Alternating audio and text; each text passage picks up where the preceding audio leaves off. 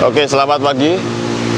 Kita hari ini mau makan di warung sederhana Bu Udah ya. Bu Udah atau Bu Sampun. Ayo, kita cek.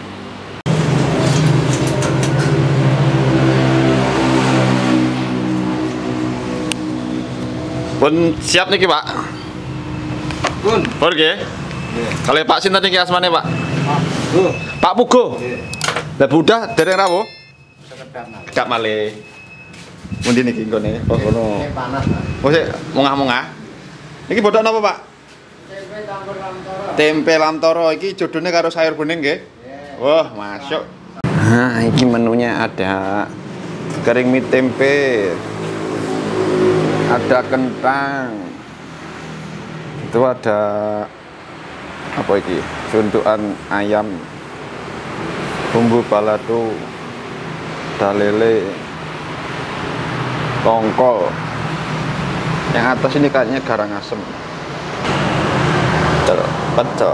Nah, ya toh. Sugeng enjing Ibu, pripun kabare? Alhamdulillah, paling sehat walafiat. Niki tetap dengan- semangat kerja. Dengan Ibu sinten namanya?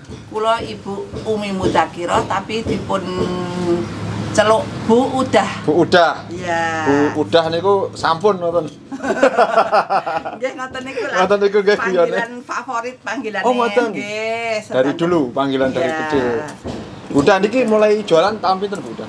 Saya buka warung dari tahun 2010. 2010. Pulang dari TKI di Taiwan. Yeah. Saya bingung cari kerjaan apa, uang ada terus disalurkan ke mana. Akhirnya saya dikasih tempat oleh kakak saya Bu Hajah Umi Muzayana. Nggih. Kalau nduk nggonono anu wis bangunan atau gaya apa. Terus akhirnya saya berpikir di sini semua sudah banyak, konter banyak, toko Ah. banyak, prospeknya kurang bagus lah. Ah. Akhirnya saya Bikin eh, warung. Iya, bikin warung yang belum ada menu yang apa yang belum ada gitu. Akhirnya saya buka warung ini. Dulunya belum terlalu lengkap, Mas. Oh, Cuma-. Iya, nasi pecel, nasi campur gitu aja. Terus ya saya tambah rawon, saya tambah garang asem itu kan juara di sini. Oh, gitu. Iya, nggak ada warung-warung itu garang iya, asem nggak ada. Mas. Garang asem ayam kampung itu enak nggih, nggih. itu. Dulu di di Taiwan nggih? Iya, Berapa tahun, Bu? saya di Taiwan tiga tahun. Gak tahu. Niatnya memang keluar mau cari modal, Bu ya. Iya, Cari untuk modal. cari modal Iya. karena ya kalau di sini ya belum tentulah dapat modal seperti ini. Oh, gitu. Warung itu kan juga banyak Banyak, mas, iya, ya, iya, iya. pelan-pelan kita. Selain dapat modal, dapat suami juga katanya. Ya. Iya. Betul kan? Kenalnya di sana Bu ya. Iya sama bapak iya. Selain dapat pengalaman, dapat modal juga dapat pasangan hidup gitu loh Bu. Ya Nggih. karena dulu ya seperti itulah kisahnya nggak usah Nggih. diceritakan ya mas. Sangat pahit. Oh gitu ya. ya. Iya. Heeh. Terus untuk harga berapa Bu? harga per porsinya kalau untuk nasi pecel, nasi campur, lauk tempe, pokoknya misalnya lauk gorengan cukup enam ribu. Enam ribu rupiah. Iya, masakannya gini. Tenane. Alhamdulillah. Aku betul. ngicipi soalnya. Mosok toh mas. Mm-mm. Alhamdulillah saestu niku. Nggih ini tadi pagi anu orang PU mungkin upacara jadi nggak ke sini. agak telat Biasanya- mungkin Bu ya. Biasanya full mas kalau pagi. Oh ngoten nggih. Iya. Nggih, nggih. Kalau rawon berapa seporsi? Rawon cukup sepuluh ribu. Sepuluh ribu rupiah. Iya kalau garang asem 15 Sudah pakai nasi gini Bu? Apa kor duduh Sudah, rawon no. tok? Ya pakai nasi Oh. cakep gitu. Apa saya kita anu tak nukne. Oh iya, nanti saya sarapan sego rawon lah Ibu ya. Iya siap. Tak ceritakan bolo-bolo pusat Indonesia Raya. Banyak itu mas. Nggih, nggih, nggih, nggih. Sudah dari 2010 pelanggan juga banyak. Banyak. Dari pegawai-pegawai juga banyak, anak Iya, iya. sekolah juga banyak. Oke, Karena di sini dekat dengan asrama Kampus. putri, asrama putra IAIN Ponorogo. Nggih, nggih, nggih. Kalau Iya. tutupnya setiap hari. hari jam itu? Aku kadang setengah empat dah tutup. Setengah empat. Kadang jam empat. Pokoknya kesel tutup mas. Oh ngono ya. Ayo. Rasa ngoyo-ngoyo ya Bu ya. Iya, apa sih sebenarnya sehat. Weh. Digolek ya tenang ayam ngoten kok gitu. Ya, gitu ya. Senin sampai Minggu buka terus rek-lerane. Tidak, hari Minggu. Kecuali acara ya. Hari Minggu tutup. Iya, nolak piknik bareng. Oh iya nek tahu mangu barang ya. makanya Ning pantai. Kerja terus ora Ya, iya. refreshing ki rugi dong. Jendel. Lah, iya. Ora oleh dhuwit ya genten dijajak nih iwak. Lah iya. Lah niki masak napa niki? Rencana bikin apa itu? Sayur bening? Sayur bening. Nanti Iya, iya, sama jodohnya botok itu. Botok ya, botok napa? Tempe, kacang. Botok tempe campur. Toro. toro, ya. Oke, oke. Gitu. Nggih sampun, Bu. Kula jangan pengetke rawone, Bu. Oke, siap. Oh, Hmm. Ini niki mboten enten sing ngewangi to? nggak ada, cukup sama bapak saja. Lha apa aku eh? Nah, ngono tak apa-apa. Apa isa-isa-isa. Ya iso nek isa-isa karo mangan iso aku. Nah, begini. Ini tak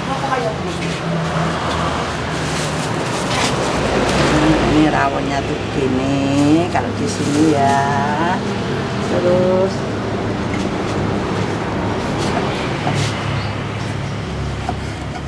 ini kesukaan orang imigrasi. Oh, rawon niku nggih. Orang imigrasi itu sukanya eh, rawon. Kalau orang Depnaker, rawon pecel. Rawon pecel ki piye? Rawon disiram sambal pecel ngono. Buatan Pripun? pecel sampingan, sampingan gitu mas. Oh, nggih Aku nggih. dulu juga bingung apa ya enak, ternyata enak. Ngono. Iya tak jelajalian. Memang penasaran bakulnya sudah. Iya, Nah iya, iya, ini sepuluh ribu. Sepuluh ribu rupiah saja. Wah. Hmm, Mantap. Hmm, ini sebenarnya anu nih kue duduk he. Nikmati rawonnya.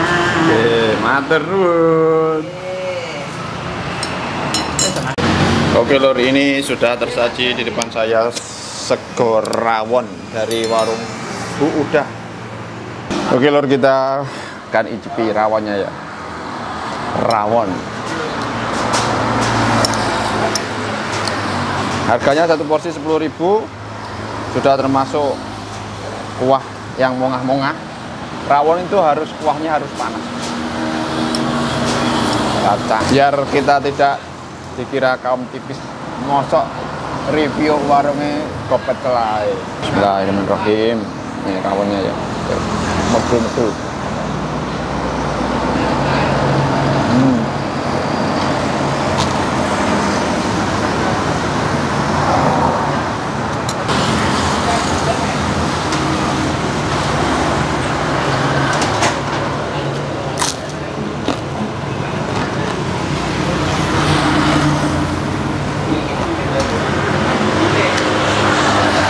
Tuh sering lewat sini. Eh, biasanya kalau agak siang tuh ruame gini. Jadi ini tadi tuh saya pengen lihat suasana pagi di sini seperti apa. Nah, ternyata menunya sarapan itu ada banyak banget di sini. Ada pecel, ada sop campur, ada air lodeh, ada rawon, ada barang asem. Nah, rawon.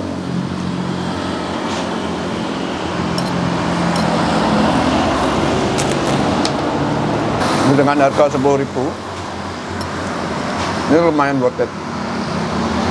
Jadi kita bisa makan rawon dengan kuah yang seger. Dagingnya juga lumayan banyak.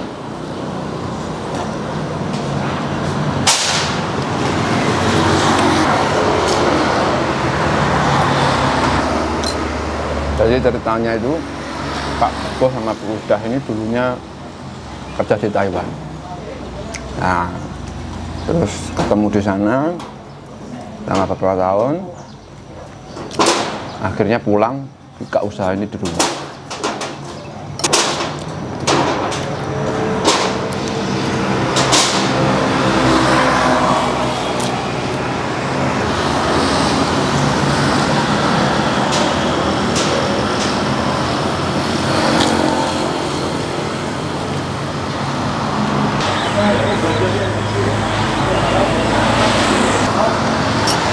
Oke, Mari kita habiskan menu kita hari ini.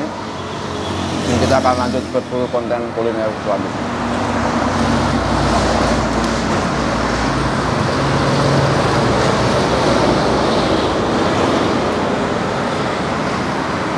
Nah, setelah kita makan rawon, seperti biasa, tradisi kita itu minum kopi ya. Minum kopi.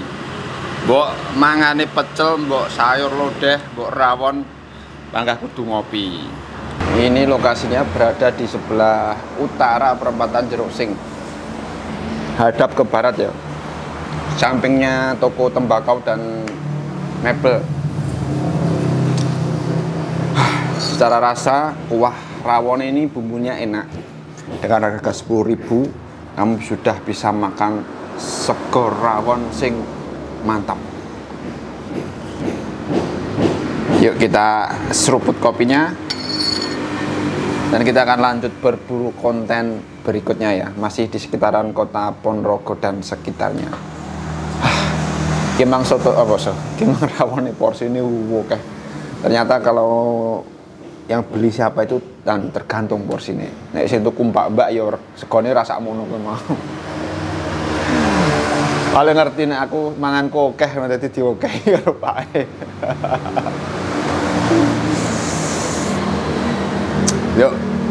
Bismillahirrahmanirrahim.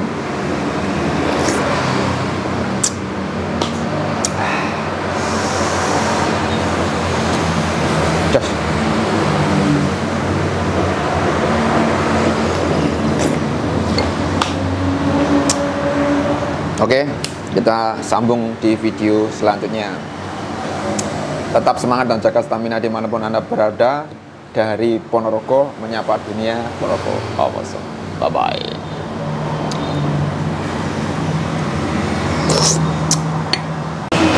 Wah, iki oleh anu, napa nggih buka lawang, Bu.